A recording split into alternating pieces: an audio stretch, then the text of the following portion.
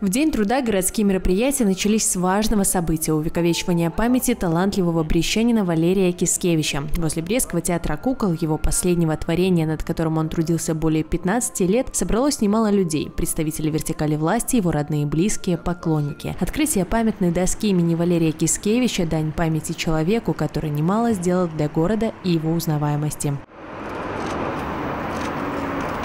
Я рад, что память об этом рано ушедшем от нас талантлившем человеке живет сейчас.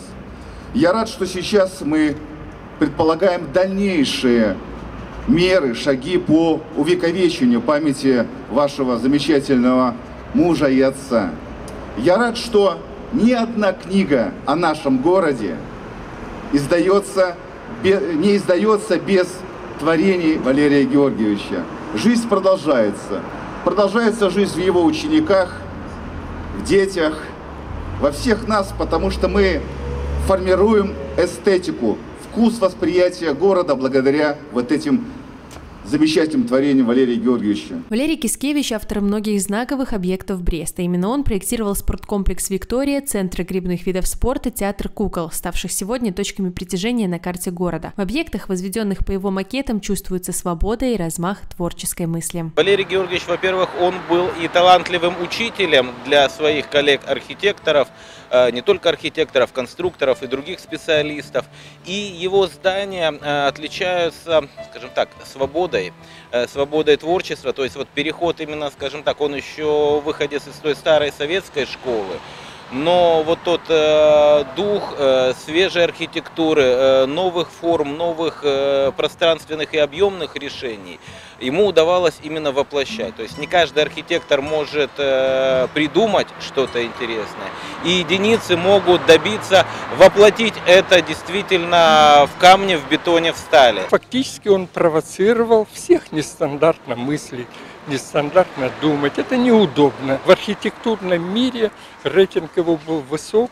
На конкурсах в Минске лучший проект постройка года всегда получал вот эти, ну, отмечалось в текстах он, его высоко ценили в мире архитектурном. И я, например, считаю, что это действительно, подвиг это заслуживает того, чтобы он был выделен как бы из ровной шеренги великолепных архитекторов города Брест. Коллеги Валерия Кискевича делятся, что архитектура никогда не была для него просто работой, это был смысл его жизни. И как любая творческая натура, он постоянно стремился реализовывать себя. Такие же стремления и у его детей, которые успешно продолжают дело отца. Был такой как бы волевой товарищ, у него были, были все, в принципе, моменты, которые связаны с тем, что он в себе носил, в общем-то, такую творческую стезю.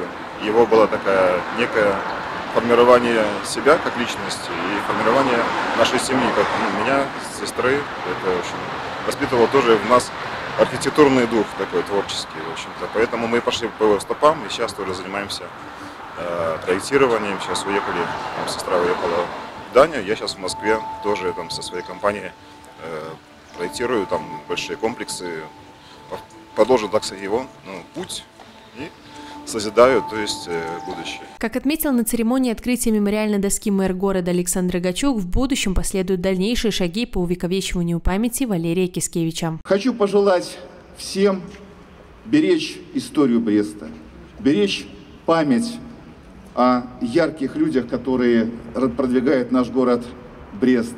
И хочу заверить, что мы и дальше будем делать наш город – непохожим, неповторимым, особым, ярким. И вот здесь роль архитекторов, роль вот этой планки уже поднятой всех нас чрезвычайно высока. Всем здоровья, удачи, я поздравляю вас с этим замечательным, добрым, нравственным делом. Ирина Левчук, Эдуард Бакунович, Александр Макаревич, телекомпания Бук ТВ.